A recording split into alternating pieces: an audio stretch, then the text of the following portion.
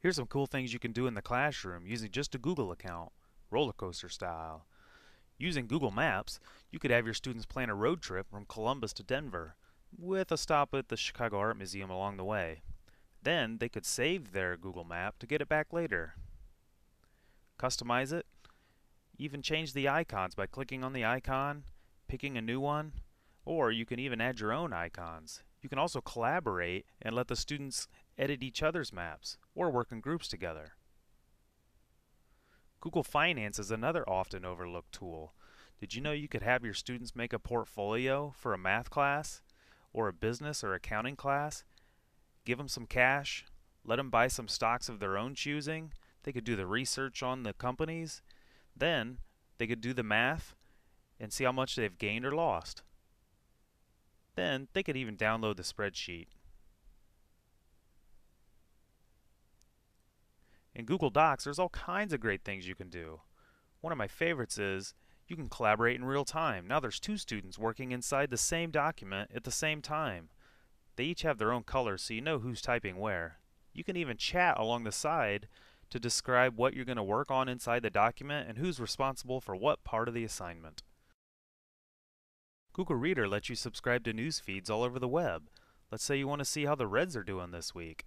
You want to look for the little RSS icon that looks like this. Once you find it, click on it, and you'll see a page that looks like this. Copy the URL, go back to Google Reader and add a subscription, paste it in, and there's all your Cincinnati Reds news. Maybe your student's blog too. Subscribe to their posts so you can get them all in one nice, neat little place.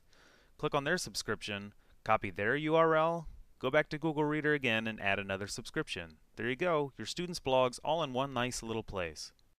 Google Images is great for finding other people's images, but if you want to upload your own photos, use Google Photos. It's also called Picasa.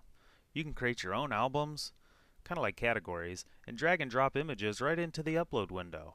Now they're in the cloud. If you want to share this photo album with your friends, click on the Share Email button and send it right to them. Or you could copy the URL and put that link right on your Google site. Put in some text, link it right to your album. Now it's on your website too. Did you know you can also edit those images right inside of Google Photos?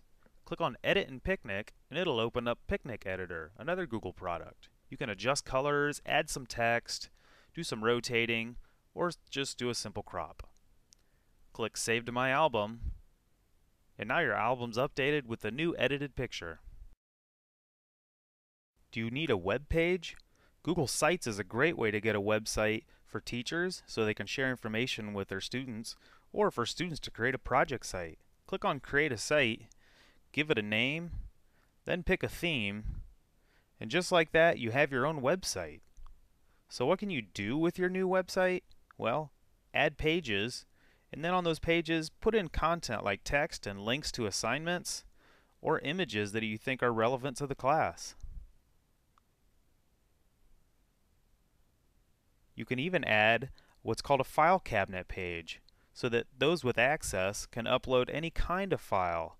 Could be PDFs or Word documents, anything you think should be shared between the students or the teacher and the students. You can even add administrators so that it's not just the lucky one with the password that can edit it. Anybody in the group can edit it now. Well, that concludes our tour. Happy Googling.